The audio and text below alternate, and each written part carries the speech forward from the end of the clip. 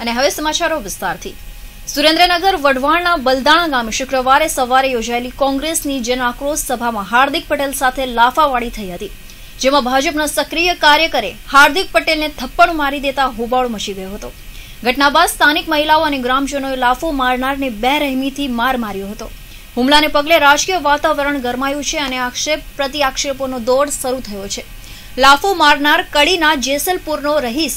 હાર્દિક પટેલને લાફો મારનાર યુવક તરુણ ગજ્જર હોવાનું જાણવા મળ્યું છે. તે કડીના જેસલપુર ગામનો રહેવાસી છે અને ભાજપના શક્તિ કેન્દ્રનો ઇન્ચાર્જ હોવાનું જાણવા મળે છે. હાર્દિક પટેલે ઘટના માટે ભાજપ પર આરોપ લગાવ્યો હતો. ભાજપ મને મારી નાખવા માંગે છે અને મારા પર હુમલા કરાવે છે. મને પ્રચાર કરતો રોકવા આ ભાજપનું ષડયંત્ર છે. સુરેન્દ્રનગરના વઢવાણાના બલદાણા ગામે હાર્દિક જ્યારે સ્ટેજ પરથી ભાષણ આપી રહ્યો હતો, ત્યારે એક શખ્સ સ્ટેજ પર ચડી ગયો હતો અને હાર્દિકને લાફો માર્યો હતો.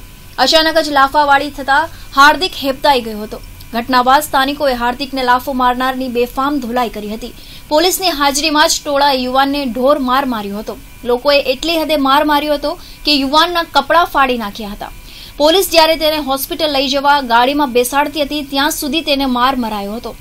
પોલીસની હાજરી હોવા છતાં તેને માંડ માંડ બચાવી હોસ્પિટલ ખસેડાયો હતો. વંથલીમાં રેશમા પર હુમલો, પોરબંદર લોકસભા બેઠકના અપક્ષ અને માણાવદર એનસીપીના ઉમેદવાર રેશમા પટેલ ઉપર હુમલો થયાનું જાણવા મળ્યું છે. ગત સાંજે પ્રચારમાં નીકળેલા ભાજપના કાર્યકર દીપક વડાલિયાએ રેશમા પટેલ સાથે બોલાચાલી કરી હુમલો કર્યાનો આક્ષેપ કરવામાં આવ્યો છે. રેશમા પટેલને સારવાર માટે વંથલીની સરકારી હોસ્પિટલમાં ખસેડવામાં આવ્યા છે. આ અંગે હજુ સુધી કોઈ પોલીસ ફરિયાદ થઈ નથી. તમે બધા જાણો છો કે ચૂંટણી ખૂબ નજીક છે.